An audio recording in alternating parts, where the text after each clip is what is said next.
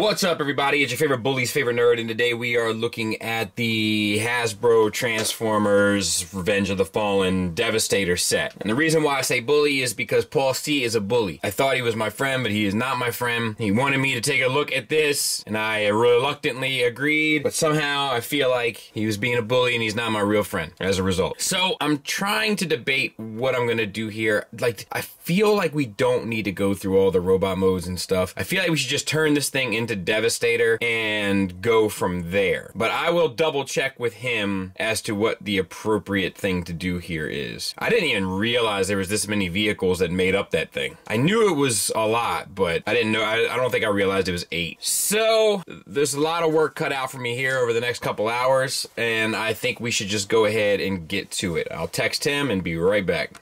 And size comparison wise, there they all are with Tiger Tracks. Done and done. All right, so what I'm gonna do is just do Devastator. If you guys want to see me take a look at the bots, leave it in the comments. Um, if you guys are on Patreon, let me know on Patreon if you want to see the bots, and I'll put it up for Patreon exclusive. Um, I think the the key to this really is just that like I'm not going to like the way this looks, right? I'm going to hate it in many ways. I'll obviously try to be as objective as I can regarding its stability and functionality, et cetera, et cetera. But like, I don't think this review is really about like whether or not you should buy the figure. And and Paul C and I were actually having that conversation, and he felt the same way I did without even me prompting him. But it's more about like how absurd I kind of find it all. So like, if you're going to be offended at me thinking that the Bay designs are absurd, then just uh, I advise to just leave because I'm probably going to find it that way. Um, it's really just for fun. Like, I'm, is really why I'm doing this. Okay, so we're gonna do combine mode. If you guys want to see robot mode, then we'll do it in a separate video. I'll put that up. If you want, if I only hear from Patreon folks on Patreon, then I'll, I'll do it exclusively for Patreon. If I don't hear from either, then I just won't do it. All right. So combine mode. Here it goes. All right. So first of all, I guess we should talk about the vehicle. Rolls like a champ. Uh, this doesn't work, which I think is silly. Like, um, I think that that should probably be a thing. I do like the window paint options. Like it, it's a like a blue gray, but it works. And I think there's enough breakup with the silvers and blacks there to make it look good. And, and then the silver paint here looks nice as well.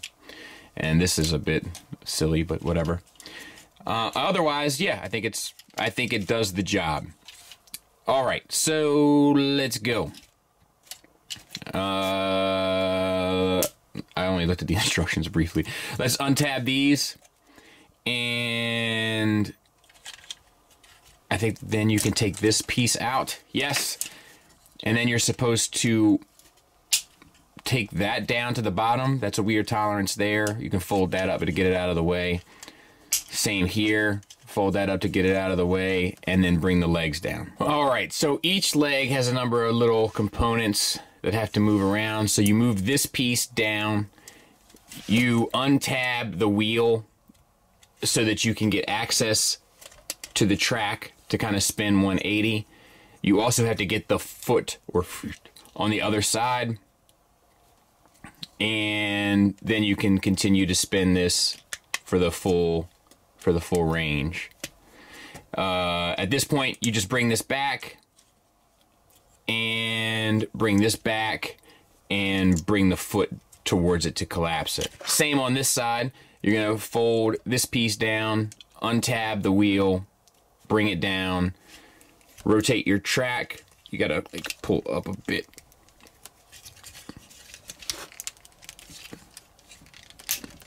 Spin it, flip the to the other side, continue the spin until you get it lined up. And then you just got to kind of bring everything back the way it was. So that comes back. And this comes back. And you're good. All right, now we need to connect those pieces. So we'll bring this piece up and these pieces around and they'll interlock these uh, gray tabs will interlock and then you can kind of resecure all this stuff same on this side and then bring your tracks back down and I probably don't have that tabbed into the right spot. I'm guessing. Oh, no, there it goes. Okay. And then you can, I think, like that.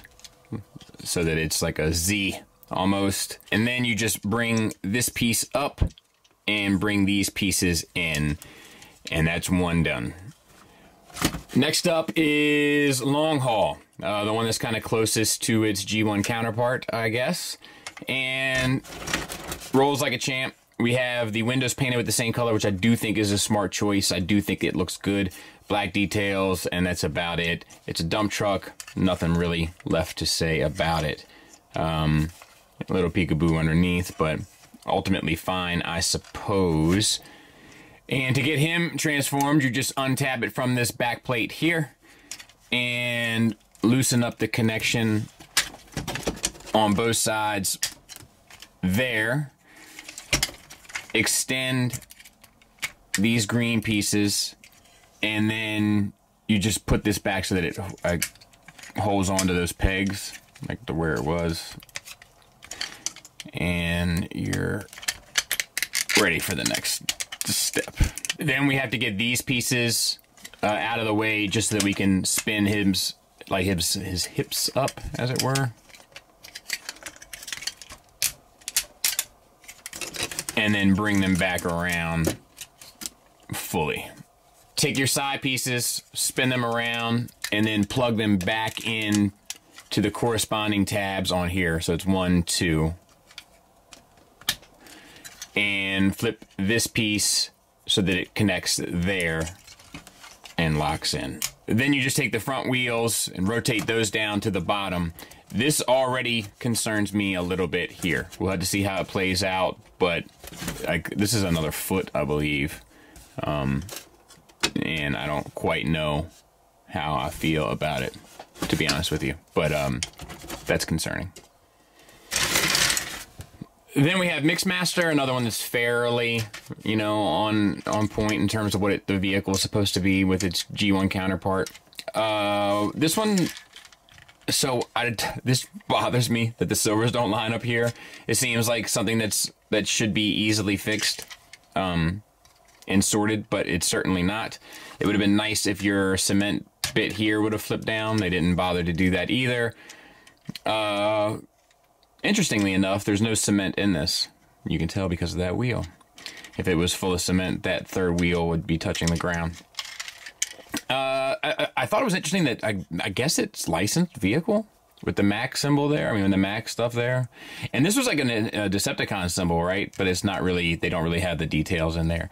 I do like the um, windshield paint once again, I, but I think that, like, aside from general aesthetics, this one's uh, has the most wrong with it just right off the bat to me.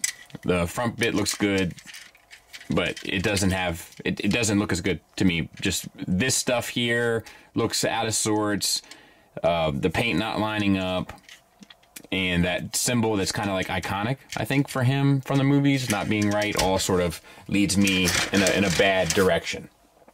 All right, to get him ready, you take off the front here and you got to remove these out of the way so that you can open this piece up and then flip these pieces out and also bring the face up and out. This also has pieces on the inside that need to flip out. And then it can come back in. You can flip this down and your smokestack's back. And then this will come back and secure to those side pieces that you flipped out from underneath the hood. And you can see that he's got um, I don't know a, face I guess. You gotta split the trailer here and just kind of get it out to the side the entire assembly and then flip these pieces around to the opposite side.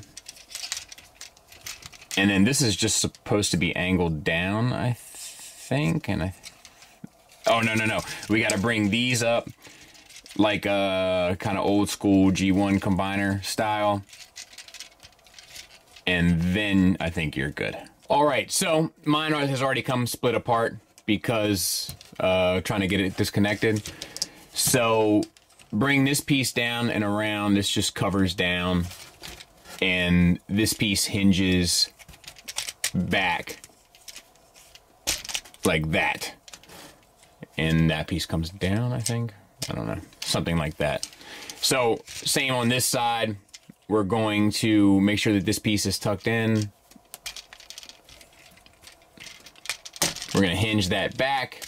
And we're going to bring this up and around, I think. All right, so then bring these pieces around and tab them back in to there using the bottom uh, option.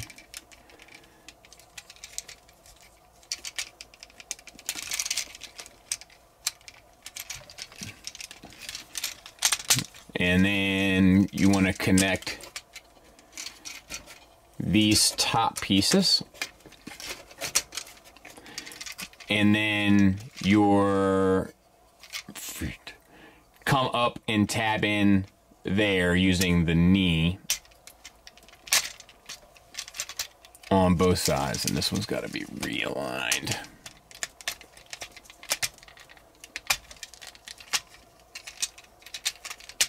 There. And tab in. And then lastly, you just take your front part, your cab, and tab it into here and there. You know, and I gotta clean this up a bit, but you get the idea. All right, and then this guy's name is Scrap Metal. Uh, couldn't be Scavenger, or, uh, yeah, Scavenger, right? That'd have been too easy.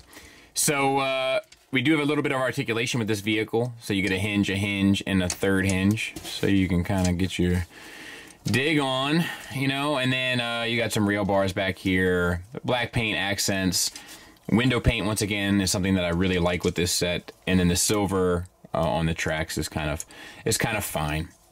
You know, this is a smaller unit, but uh, I don't know. I guess it does the job.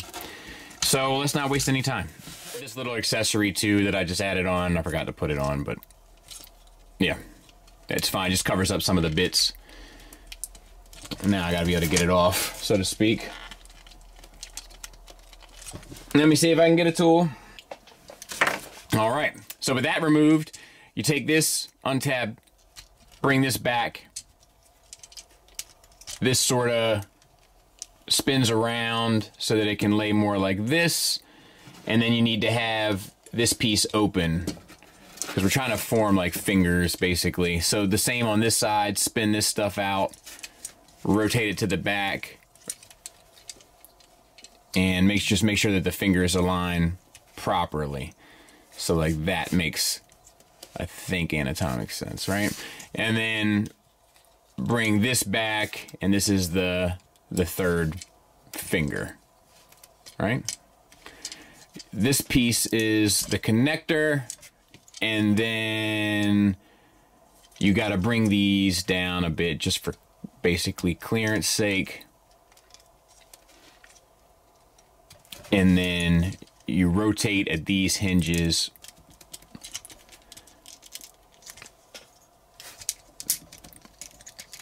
out.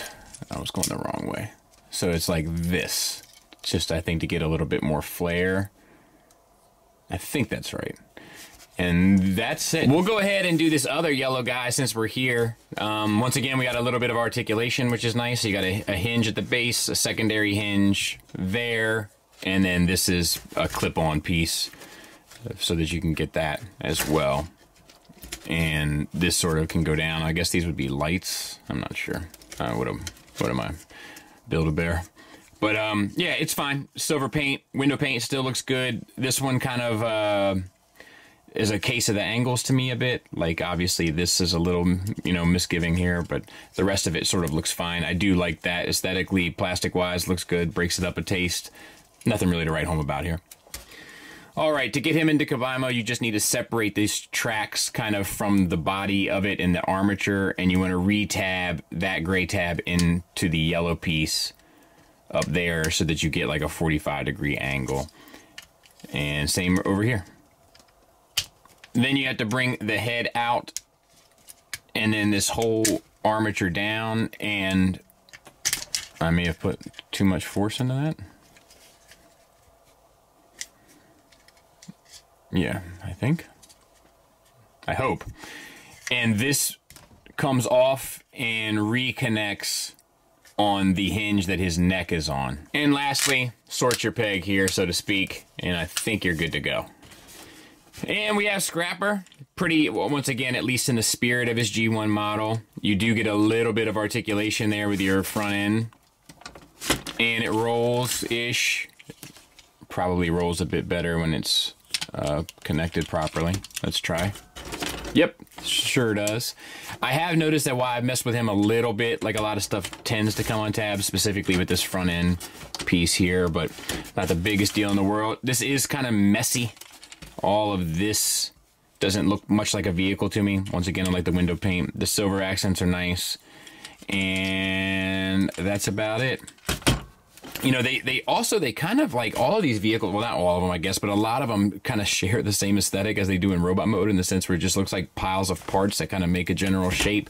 Some of them pull it off better than others. This is this would be one where i say i would say it does not pull it off as well as some of the others but oh well let's get going. Let's get started and the main objective is to get this hole so to speak of the wheel plugged into there. So in order to do that, you gotta untab these front end pieces and on the underside, you have to unlock this silver piece and then rotate the entire thing down until it will line up appropriately with that wheel and plug in. So once again on this side, we're just sort of getting it into the correct spacing of the wheel. Up here, um, spin these around 180 and on both sides and collapse this and bring these things out. More pointy bits. And lastly, just pull that out. Next up is overload. I, will be honest with you, I'm not sure what the purpose of this vehicle is. Um, no clue. Not sure I've ever seen anything like it in real life. Uh, once again, looks very abstract to me. That might be faithful to the movie. I can't remember, but um, yeah, this doesn't. This just looks like a, a rectangle on wheels. Uh, I do like the window paint, but there's nothing else to say here. It, it's it looks like you tried to turn it into a vehicle looking thing, but it doesn't do the best job of it, in my opinion.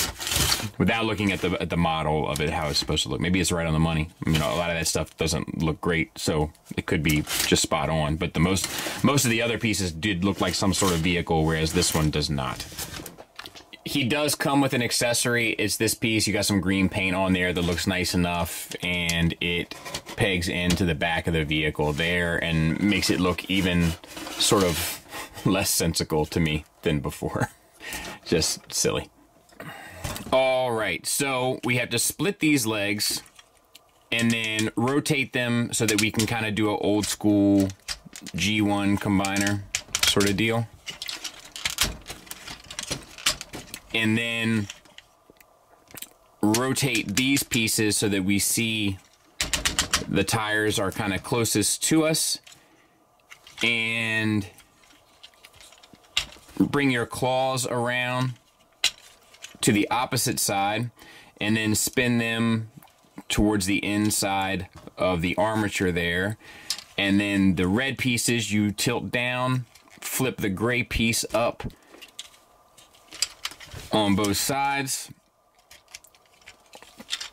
And then swing your uh, armature back around and tab it into the back. Flip these wheels out.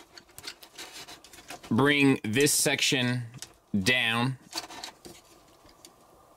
Untab the sort of uh, driver's, the cockpit, I guess.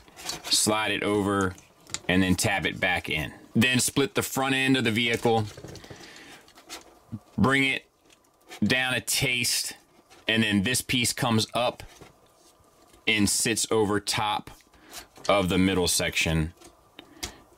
And I th think you're good to go. Like, it's really hard to say whether any, like, it's so hard to say, like, like, yeah, that looks right. You know, none of it looks right. But I think that's right. And then lastly, I guess they call this one scavenger. That's why they don't call the other one scavenger. Um, which is fine, I guess. I think the other one looks more scavenger-esque to me, though. This one, like the wheelbase looks a little small for it, but what, I don't know. What do I know? Um, doesn't spin just like the other one. You do get this armature here. It is ratcheted, so that's nice enough. Uh, silver paint on the window this time, which throws the whole cohesiveness of the set off, in my opinion. I like how that's all painted. All the silver details look good. Uh, the innards look a mess.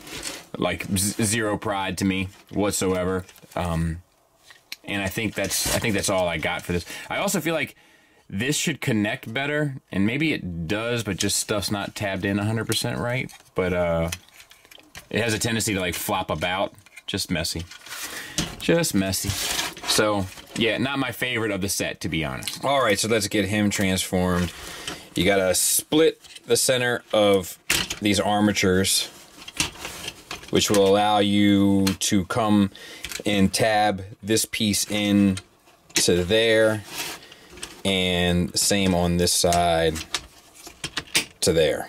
So then bring that to the front, twist here for 180 and then collapse this back onto itself. And then it will come underneath and this tab will go where does it go? Right in there.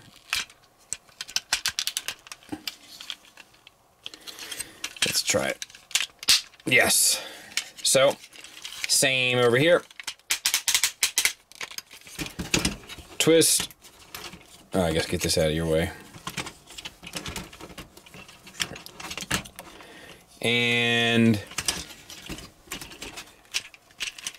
tab into the side. Then spin these entire sections out and disconnect these bits which will allow you to bring this whole section, you can close these tires here. Down. And then on the underside of these, you want to bring the treads up so that it kind of forms the rest of the tire and bring these bits out.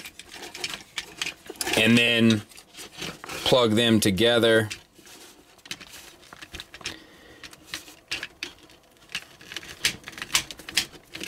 There and make sure that they're plugged in here. And then all that's left pretty much to do is clean up. So this head has to kind of come down, get these armatures out of the way of the tire, which needs to spin and come down towards the other two tires. And then these pieces, I think just sit up there. And this, I think I already had it kind of sitting right. That goes like that, I believe. Maybe. Uh, I'm just breaking it.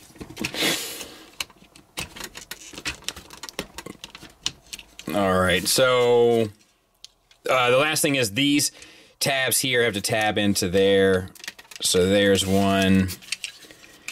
And there's the other. Good grief. It's just, it's hard to figure out what it's supposed to look like because it's hard to figure out what it actually looks like. And what we're left with is a sort of general pile of parts. So let's connect these pieces. This sits over top there. We can move this to the back, this to the back, and this. So I'm trying to so these this bit here goes in between the two tires and then these C clips here clip around these two rails. So let's give that a go. I wonder if yeah, these should probably be back. Set ourselves up for success, right?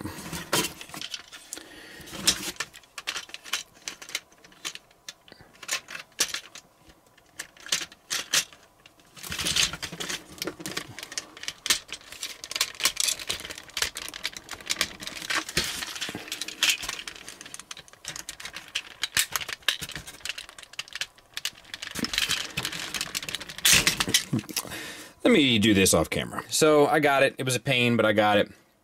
We'll take this and these squares here intersect with this section that holds it.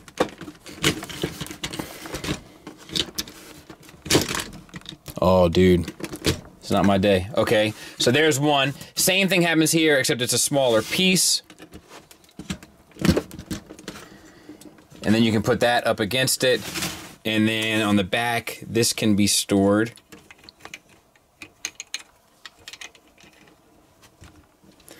So there's that. And then I'll lift up a taste. And you have this conglomerate. And you're using the same sort of engineering with this piece and this piece here.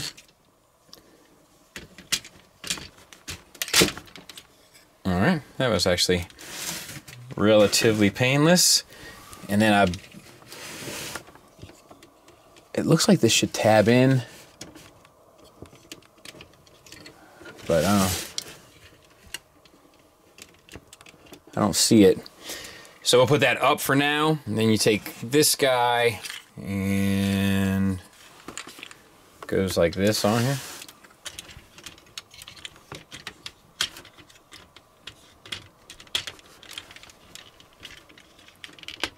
Right. And see if he'll, let's just,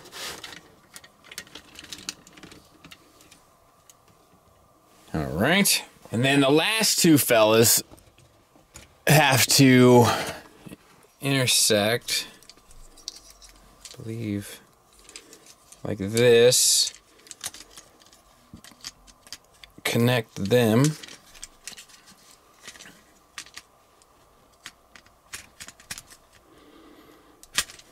What a nightmare. And not just putting it together, but looking at it.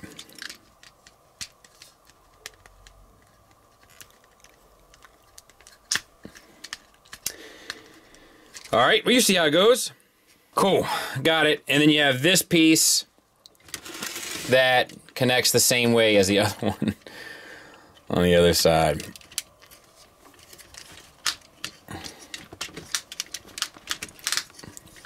And there. I'll clean it up, we'll take a look at it.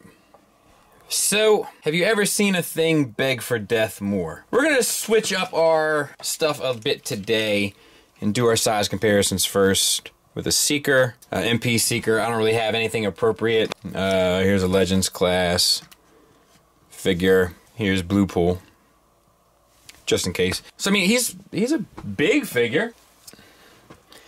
To the top of his barrels and stuff, he's probably just under 15 inches or so. Um, yeah, I guess that counts for something. So let's get into the figure now. So the head doesn't move. Uh, the jaw moves and actually two places like it has like a inner and outer jaw and they both can somewhat move independently which might be able to help with the posing and stuff a lot of paint on the face between the reds and blacks and greens and, and then the base color which is like this beige so it gets points for that it also like oddly enough and i think these are supposed to be angled back a bit it um it doesn't have a waist swivel that i can tell and these things, I feel like these things should be more secure as well, but they're they're not. All right, so then there's the shoulders. Um, so you have a, a hinge at the base here, which gets like a butterfly movement forward and back, but this piece actually prevents it from moving forward in. Now, I guess with the elbow and bicep swivel, that should sort itself out and shouldn't really be a big issue, but still something to kind of take note of. Like they could have allowed you to get more there if they wanted to. But you do have a bicep swivel and a ratcheted elbow that gets you 90 degrees. So there's no issues there. And then you also have the fingers that move like joints, and it's hard to tell which joint is which, but I guess primary, secondary, tertiary here, and then you have these two claws here as well as this. So, you know, you can get some sort of movement out of that. It's also not the most well balanced figure, and so uh, I don't want to get ahead of myself, but like it doesn't really do the crouching thing. So, but I've seen people do it in pictures. So I did a Google's, and my Google's told me that there's uh, something you can do and take some stuff apart and re-put it back together, and then you can have it do it. I'm not doing all that, but it should have done that from the get-go. Um, so the rotation is the same for the shoulders here and there, and you do get an upward, and that's ratcheted. Bicep swivel and elbow works the same.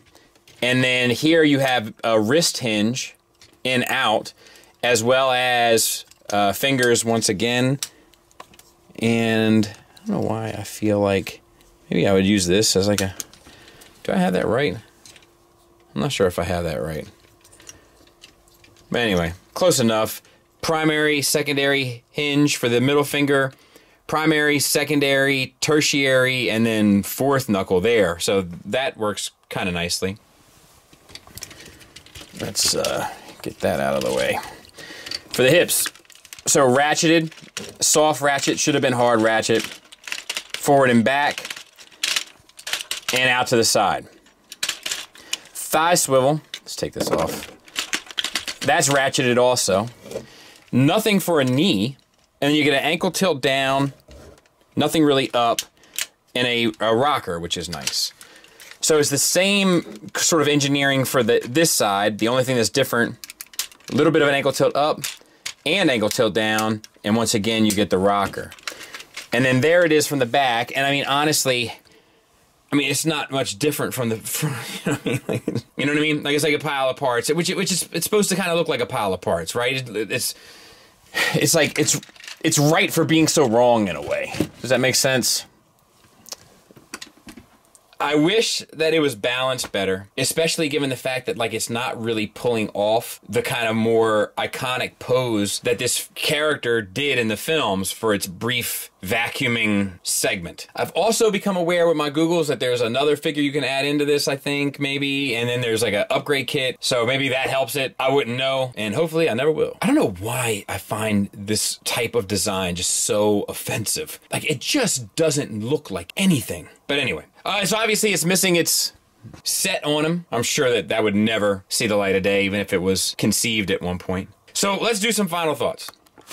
So, final thoughts wise, for one, I found out where the thumb was. It just fell off during the process. But final thoughts wise, for the negatives, the fact that it doesn't kind of naturally hit the signature po pose that you know the character from, and then at the same time has tons of limitations regarding articulation and regarding balance, where it seems like the most natural thing to do would be for it to be able to hit the pose, is really frustrating. It's like if it could do the pose and then have all of those limitations, I'd be like, you know what, I get it. But the fact that it can't do the pose and has all those limitations seems like a complete waste of all of it. Nobody remembers this character being standing up on, on his hind legs. Nobody that I know. I also wish that the chest pieces had a place to kind of tab in properly. I wish it was a little bit more secure in the shoulders as well. Stuff there seems to kind of flip about and like where it's plugged into the base underneath behind the shoulder has a tendency to come unplugged as you're manipulating it. Just little things like that would help this whole thing feel a little bit more secure. And that's not to say that it doesn't feel secure overall, just saying that it could feel even more secure. And I think that's about all I got. Positives wise, the pieces of it actually stay together quite well. Like it's quite secure to one another. All of the eight bots kind of really do lock in and form a pretty solid connection. And that's even with like this one, I don't even have it pushed in all the way, just so, so to speak, so I can get it out easier, so to speak also. But it really does secure itself fairly well. Also, I mean, the transformation is relatively easy for all the pieces, but it, it kind of should be. The legs are articulated fairly well, and from the bicep down, the arms are articulated fairly well. Also, I think the sculpt is kind of right in the fact that it's so wrong. Now, I know it doesn't look super screen accurate, but at the same time, it looks like a pile of parts, and in the movie, it looks like a pile of parts. So in that regard, they're right for being so wrong, or wrong for being so right, or one or the other. Maybe the studio was wrong for being so right, and this was right for being so wrong. It's just a, it's a lot of like stuff going on for it to not look very, you know, but I guess it's part of the design. It's hard to say, man. It's like, it looks awful, ugly, dumb, which I know you've heard me say recently. Maybe you haven't. But yeah, I mean, I guess it's fine. If you want him standing up straight or if you do the mod or whatever it is to get him hunched over, you know, more gorilla like. It's just a, it's a bit of a nightmare, really. And not in all, not in a good way. So yeah, if you love the character design and you're okay with him being upright or you're okay with modding it, then you should be fine. I don't know. I think you could probably find something better to do with your money, but that's just me. Thanks for listening. Thanks for watching. Until next time, take care.